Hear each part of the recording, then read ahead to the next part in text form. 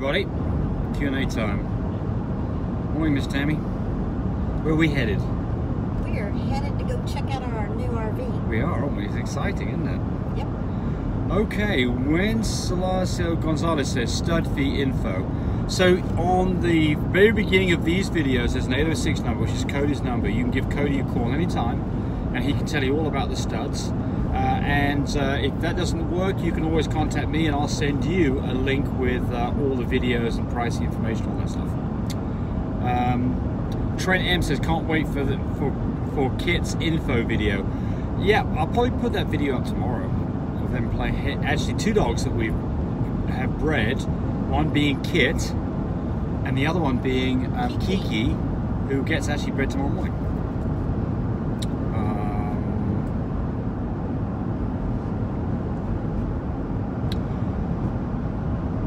now, someone, Trey Hamilton says, I have some pics saved of fluffies from the early 1900s. Well, that's interesting. What? Uh, fluffies. Pictures of fluffies from the 1900s. Oh yeah. Well, Yeah. they showed that on Facebook too. Oh, yeah? Didn't know that. Oh yeah. So, yeah, so that's been around a long time, just been kind of just simmering in the background, hasn't it? Just Jew says, uh, he, she saw my dog about the lilac and chocolates and red eye glow. My chocolate and tan doesn't have red eye glow. Mama's Mars form dad was an Isabella and tan. Please help. Well, something's wrong because a chocolate dog with this little b, little b, or little c, or little c will have a red eye glow. And Merles have a red eye. Glow. Yeah, so yeah, but so if your dog doesn't have a red eye glow and they say it's a chocolate, something's wrong. Um, probably the test is wrong if I was guessing. So I'd, I'd go back and ask some questions here because it should have a red eye glow. In my, I, I've never ever. Have you ever seen a dog, Tammy, that was chocolate or light that didn't have red eye glow? Right.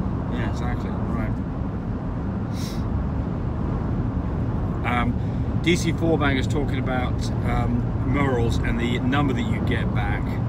Uh, and he's saying 268 is a Harlequin Merle, not a cryptic right. So cryptic Merles are Merles that don't show the Merle at all, but they come back and test with a low number. He's saying he thinks it's below 250, that could well be.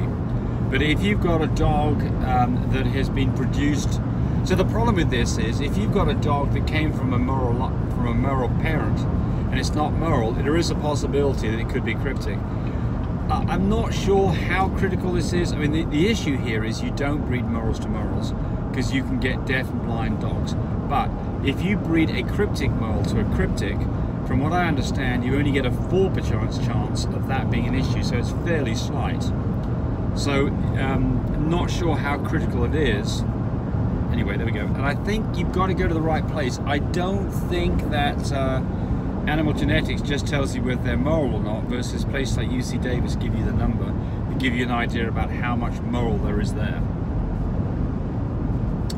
Hollywood Gold Frenches. Thank you all. Did my research with you and others. Finally got my gener generation paperwork back from the AKC. And what do you know? Love My Sterling is in my stud pedigree. Your hard work goes full circle. I love Sterling. Of course, um, you know, it's uh, the, the, sad thing about this is is that Sterling's not being used anymore. He's too old. But uh, he produced a lot of really nice puppies over many, many years. So I'm guessing that you, if he's got, well, Sterling produced more puppies. So of course it depends how far back in generation Sterling is to how much genetics you get. But yeah.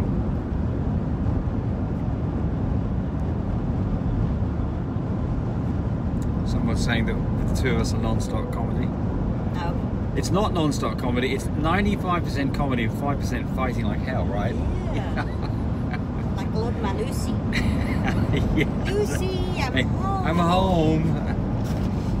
Lucy, don't hit me. Joan Delgado says, I was talking about what we feed puppies. Says, I'm glad you taste the, you taste the food because I do the same thing with my dogs. Yeah. Yeah, nice to know what your dogs are eating. James grosses my grandkids out every time he does that. Well, we play a game with treats. You both are in the kitchen and about 10 foot apart and you get to throw a treat and the other person has to open their mouth. If it lands in their mouth, they have to eat it and then they get a go at throwing a treat back at you. So I've eaten my fair share of treats that way. The, the grandkids normally welch out on it and they throw it in their mouth and they spit it out, so they're cheaters, but hey, there we go.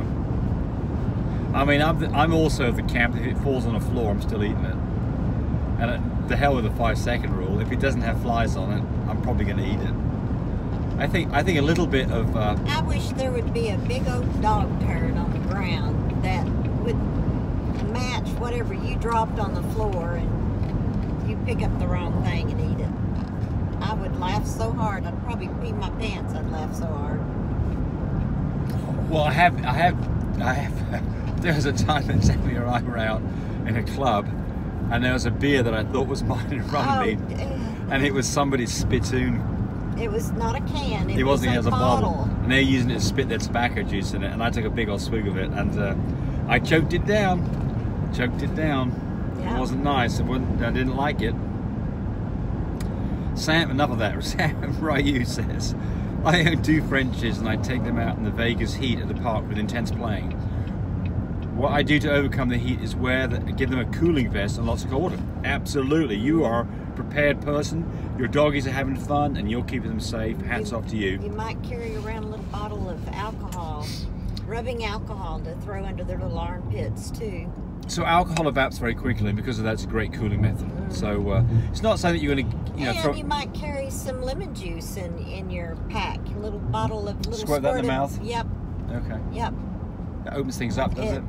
yeah, it uh, Okay. sure does. It, So I wonder where he's getting the cooling vest from. I'm sure they're available at a place like Chewy or something like that. yeah, I'm guessing that it's a vest that you put in the uh, refrigerator.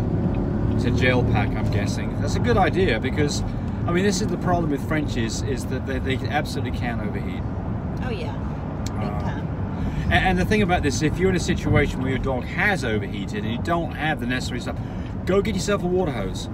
And the right way to do this is you start off by cooling their feet and their belly off. You don't just throw it over them because you, If with you've got an ice machine, you can chunk ice all over the ground and keep it around them too. Yeah, but the best thing to do is to get them wet and get evaporation if you've got Yeah. a dog in trouble. We had a, somebody come visit us one time, Mm-hmm. The dog that did get in trouble after a breeding, and uh, we soaked that dog. I mean, the dog was in trouble, but we soaked the dog down It and was very, the female, not the male. yeah, right, Yeah. very quickly the female Yeah. recovered from it, and she had a good litter of puppies too. Good. But uh, yeah, She did okay. Boy, we were worried though. We thought she was going to lose it all.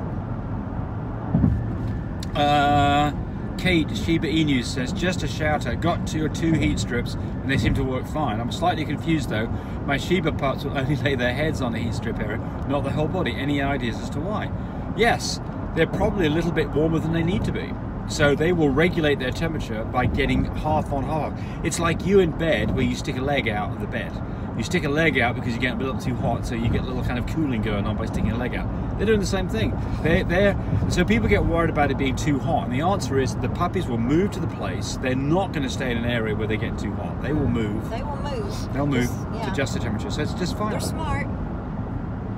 Even little bitty, they're smart.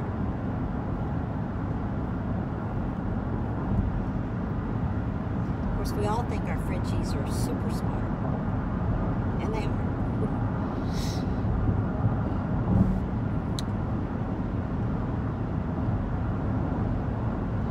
So Lisa Rosa, she's got a long thing here. I'm not going to read all of it. Says I just love knowledge and learning about endocrine hormones.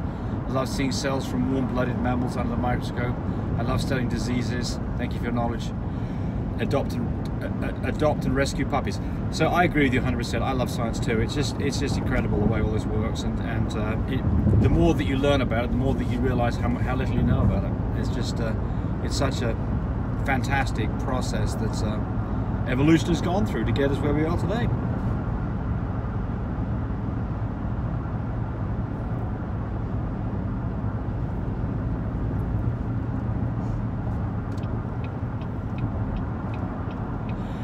Hi James Tammy, I have a litter of Frenchies who are four weeks old today and I'm curious as to what dewormer you recommend for them. I use Panacur for Mama and I know you've mentioned this on one of your videos and I can't seem to find it, lol. Nemex 2, you need to start that at two weeks old and every two weeks after that. Until Right. they're six weeks old, then worm them with uh, Safeguard. Right. At six weeks. Right, so the But first, started at two weeks with the Nemex 2. so every two weeks do a, a worming starting from when they're born, so not nothing when they're born, but two weeks start the worming. then you can either get Nemex 2 or you can get Pyrantel Pamoate, which is the same thing as a hell of a lot less expensive. You can buy that on Amazon. A big bottle of that's, I 30, 40 bucks. A small bottle of Nemex is 100 bucks. So, uh, can't say it now.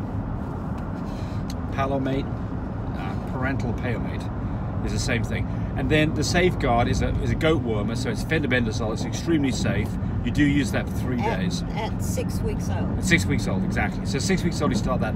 You don't use that earlier because it, it is a little bit stronger. So it's recommended for six weeks puppies or older, and it and it covers a plethora of different things. So when our six weeks puppies, when they're six weeks, we just give it to them one time. Uh, three days. huh? Three days. Okay. Yep. Nemex one day, Yes. but the Safeguard's three days. I swore we just give it to them one time. No, you're. Tammy's getting. Tammy's mind's going. Tammy, what's your middle name? That's what I thought. It's the beginning of the end.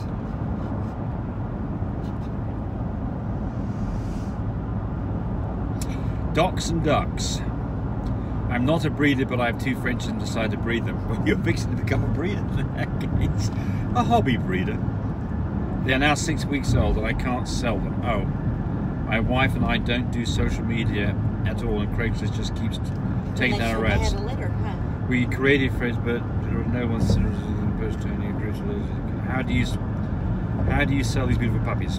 You only have one female, which is amazing. Blah blah blah blah blah blah blah blah. blah Get on blah, Facebook blah. and sell it. There you go. So, Tammy, you I don't do this. Wherever, Tammy does this. Whatever your state is, I promise you, it will have. Um,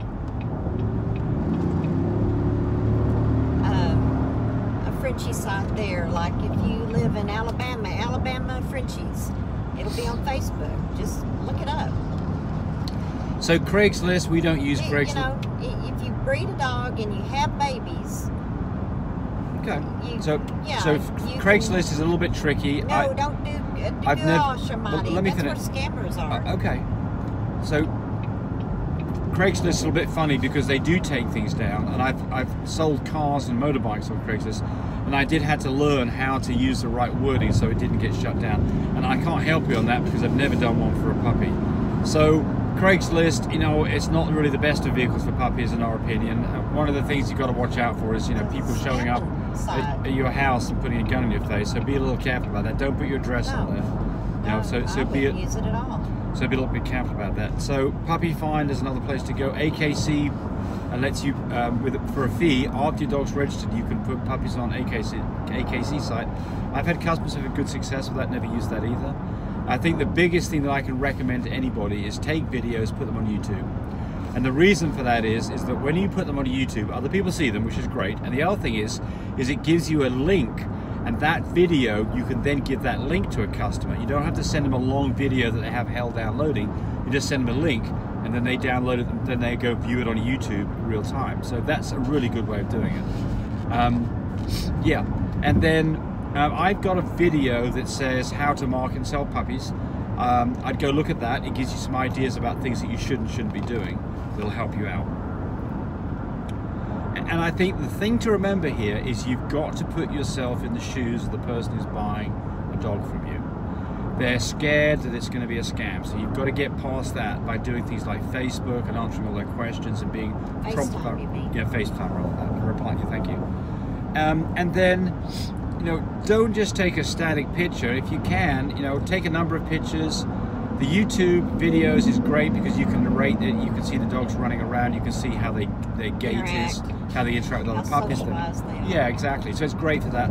And then the other thing is, is that you can take a video that you've done. You can take screenshots from that video, and it's much much easier than trying to take a picture. It's very hard to take good pictures of dogs because they're just always doing the wrong thing. And I promise you, if Tammy and I continue to take pictures of dogs, we'd be divorced by now, right? Yes. It's it's absolute, you know, it's Frustrating it's very frustrating, very frustrating. Um, so uh, I, I would say the videos is absolutely the way to go at that. That's 14 minutes. Bye, everybody. Thanks for watching the, the video. Uh, I really appreciate people who subscribe to me. It helps me, encourage me to do more of these videos. But do remember, disclaimer here, I am not a vet. I'm not a licensed medical professional. I'm purely a person who's been breeding dogs for the last couple of decades. Any information that you got from this video, use at your own risk. There's nothing implied here, and certainly this should not be used as a substitute for advice from your veterinarian or your medical professional.